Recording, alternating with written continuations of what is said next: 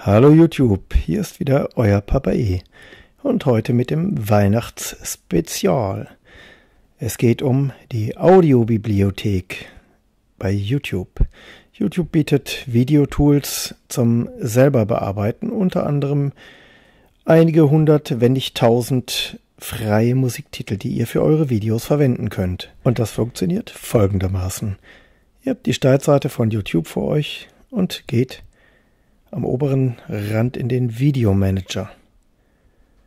Hier wird euch nach mehr oder weniger langer Zeit der Videomanager angezeigt. Jetzt geht ihr runter ganz unten in der linken Leiste auf Video Tools und dort öffnen sich zwei Möglichkeiten Audiobibliothek vorangeklickt und Videoeditor. Jetzt könnt ihr auf Audiobibliothek drücken. Ich versuche das hier mal exemplarisch mit zwei Titeln. Wenn der Doppelstrich erscheint, sollte eigentlich Musik zu hören sein. Ist aber nicht. Warum? Ja, das hat folgende einfache Bewandtnis. Ihr geht in den Videoeditor.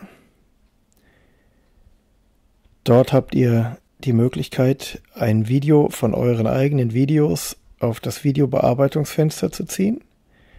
Und dieses wird nun oben im Kontrollmonitor angezeigt.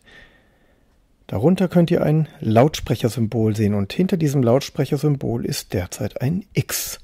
Dieses X entfernt ihr durch Anklicken.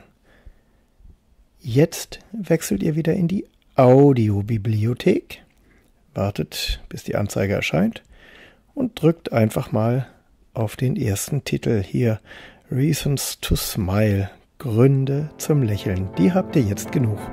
Und ihr seht, es hört sich schön an. Viel Erfolg beim Umsetzen und hoffe, ihr habt wieder viel gelernt. Frohe Weihnachten. Euer Papa E.